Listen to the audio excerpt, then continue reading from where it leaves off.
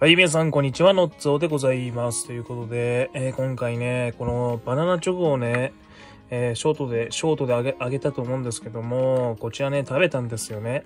で、食べて、なんか発酵バナナの形にして遊ぼうって書いてあって、まあ、それをね、実況、実況していこうかなというふうに思います。はい、ここにね、説明書いてある。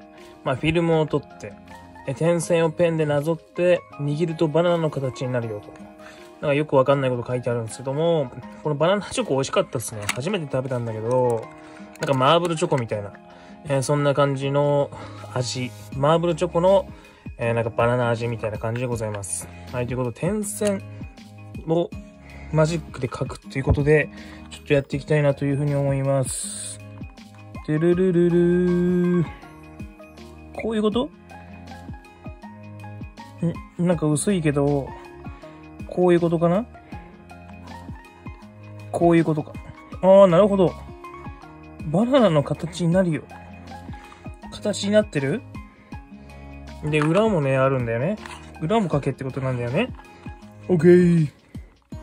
さあ、バナナ好きの俺からすると、ほんとこれ美味しかったななんかバナナのスイーツとかバナナのお菓子って見つけると買いたくなるというか、食いたくなるというかね、本当に、いい、いい、いい、いいもんだよ、バナナは。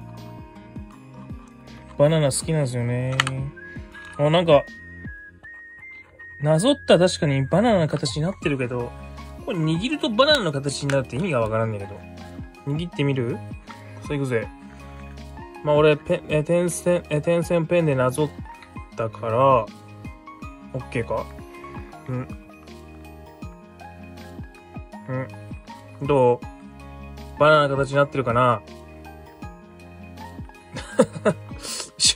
この握ってバナナの形になるっていうのがよくわかんないんだよな。うん。バナナできました。このお猿さんがこう握握ってるように握るか。まあ、子供のあれだよな。俺の手じゃちょっとあかんか。こう覆い尽くしちゃうもんね。ほら、バナナ。どうぞ、バナナです。はい、バナナ。バ、バナナ。なんこれ。ああ。なるほど。はい。あの、よかったらこれね、買ってみてください。はい。美味しいので。はい、チャンネル登録とね、高評価お願いします。それじゃ。